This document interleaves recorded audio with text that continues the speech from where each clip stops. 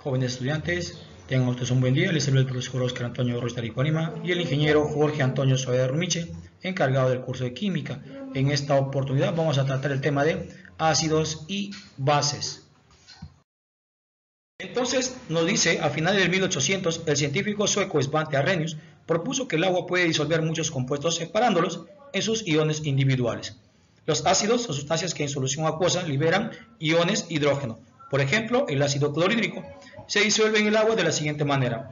Como podemos apreciar, tenemos ahí la fórmula del ácido clorhídrico, dice, en solución acuosa, entonces va a liberar hidrógeno, cation monovalente, en solución acuosa, más el cloro, anión monovalente.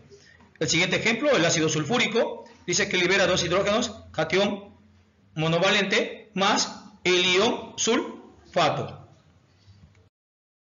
Las bases son sustancias que en solución acuosa liberan iones oxidrilo, ¿no? Como podemos apreciar ahí, el OH negativo. Por ejemplo, una base típica de acuerdo a la definición de Arrhenius es el hidróxido de sodio. Entonces, apreciamos ahí la fórmula que dice hidróxido de sodio en solución acuosa. Entonces va a liberar sodio, cation, ¿no? Solución acuosa, más los iones del oxidrilo. Luego tenemos el hidróxido de calcio en solución acuosa. Entonces libera calcio, cation divalente, ¿no? Más dos iones de oxidrilo.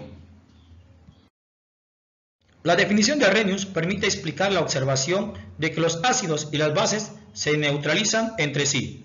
Si se mezcla un ácido y una base, el ion hidrógeno se combina con el ion oxidrilo para formar una molécula de agua, según como podemos apreciar allí en la siguiente fórmula.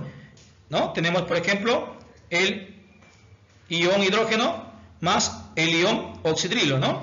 que me va a dar como resultado el agua en estado líquido. Y también lo dice, la reacción de neutralización de un ácido con una base produce agua y sal, tal como se indica a continuación. Tenemos ahí el hidróxido de sodio, que viene a ser la base, ¿no? En solución acuosa, más el ácido clorhídrico, que es el ácido, también solución acuosa, entonces nos da el cloruro de sodio, que viene a ser la sal, más agua en esta oportunidad. 2. Teoría de Brosten y Lowry. Un ácido es toda sustancia capaz de dar un protón, en este caso hidrógeno, positivo. Y nos dice que una base es toda sustancia capaz de aceptar protones, como podemos apreciar en la siguiente fórmula. El ácido clorhídrico, que viene a ser el ácido, más agua. Entonces, ¿qué es lo que va a hacer? Dice, ¿no? Vamos a, tener, obtener cloro, en este caso negativo, ¿no? Que vendría a ser la base, más, en este caso, el hidrógeno, ¿no? Positivo. Número 3. Teoría de Lewis. Según Lewis nos manifiesta que un ácido es aquella sustancia que puede aceptar un par de electrones y una base es aquella sustancia que puede ceder un par de electrones. Tenemos allí el amoníaco más el trifluoruro de boro. Entonces nos va a dar el trifluoruro de boro amoníaco. Ahora tenemos las sustancias anfóteras, también denominadas anfitrópicas, que son aquellas que se comportan en determinadas ocasiones como ácido y en otras como una base.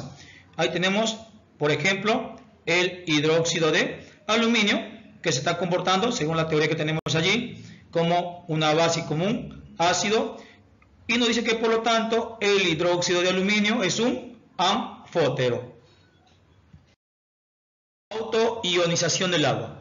Experimentalmente se ha demostrado que el agua es un electrolito muy débil. Sin embargo, es posible hablar de la ionización del agua, la cual se escribe de la siguiente manera, como podemos apreciar en la fórmula que tenemos ¿no? Observando en la imagen. La primera molécula a la izquierda actúa como base, el cual acepta un protón, y la segunda actúa como un ácido, cede un protón. La ecuación de la ionización del agua también se puede escribir de la forma abreviada. Tenemos el agua en estado líquido, entonces, ¿qué va a liberar? Hidrógeno, en este caso positivo, ¿no? Solución acuosa, más el ion oxidrilo, ¿no? Acuoso. Para esta reacción, la constante de equilibrio hallada experimentalmente dice a 25 grados Celsius es 14. tenemos ahí kilowatts igual, ¿no? El ion hidrógeno, ¿no? Entre paréntesis en este caso, y el ion oxidrilo. Tiene un valor de 1,0 por 10 a la menos 14. Donde kilowatt se conoce como el producto iónico del agua. Dicha constante permite determinar el grado de acidez o basicidad de una solución diluida en una solución neutra a 25 grados Celsius en este caso. Tenemos entonces el ion hidrógeno igual el ion oxidrilo igual 10 a la menos 7. En la definición de Broster, Lowry, ambos nos dicen que los ácidos y las bases están relacionados con la concentración del ion de hidrógeno presente en una solución. Los ácidos aumentan la concentración de iones de hidrógeno, mientras que las bases disminuyen en la concentración de iones de hidrógeno. Índice de hidrógeno, el pH, el potencial de hidrógeno. En 1909, el bioquímico danés Sorensen introduce el término pH, quiere decir potencial de hidrógeno, para evitar utilizar la ion, en este caso hidrógeno, o de ion oxidrilo. En términos de exponentes negativos y para facilitar la descripción de la acidez o la basicidad de una solución. Tenemos ahí que nos dice el pH igual negativo logaritmo ion hidrógeno. Entonces, ion hidrógeno tiene un valor de 10 menos pH, de acuerdo a la cantidad que puede ser 14, 7, 6, etcétera, ¿sí? Entonces nos dice ion hidrógeno, quiere decir concentración molar de iones hidrógeno en mol sobre litro. Ahora podemos apreciar en la siguiente imagen el ion hidrógeno y el pH de algunas sustancias compuestas, ¿no? En este caso, si es un ácido, cuando es neutro y cuando es una base. Vamos a mencionar algunos de ellos.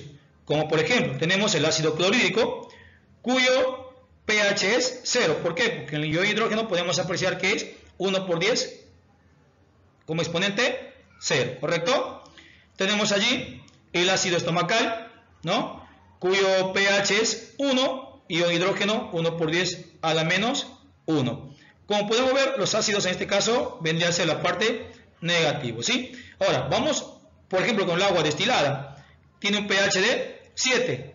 En este caso, ion hidrógeno sería 1 por 10 a la menos 7. Luego podemos apreciar todo lo que es base, la parte positiva. Por ejemplo, tenemos la clara de huevo, ¿no? Ion hidrógeno te dice 1 por 10 a la octava. Por lo tanto, su pH es 8. Tenemos ahí el antiácido, por ejemplo, que ion hidrógeno 1 por 10 a la décima, teniendo un pH de 10. Por último, podemos mencionar ahí el hidróxido de sodio, ¿no? que tiene un máximo ion hidrógeno que dice 1 por 10 a la 14. Por lo tanto, tiene un pH de 14.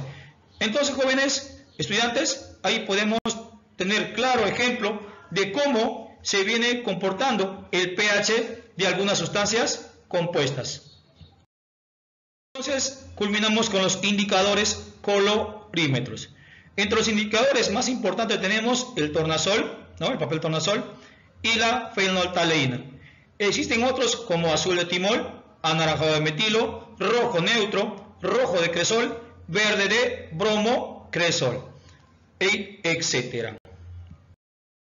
Bien, jóvenes estudiantes, ahí como pueden apreciar ustedes, tenemos una pequeña frase donde John Keats nos dice lo siguiente, ¿no? Los hombres de genio son fuerzas químicas etéreas que operan sobre la masa del intelecto neutro. Bien, una bonita frase para que cada uno de nosotros podamos ir eh, reflexionando y teniendo en cuenta la importancia que tiene la química prácticamente en nuestra vida. ¿Ok? Entonces, agradecerles por su atención y continuamos con la siguiente parte que es la solución de los ejercicios de aplicación.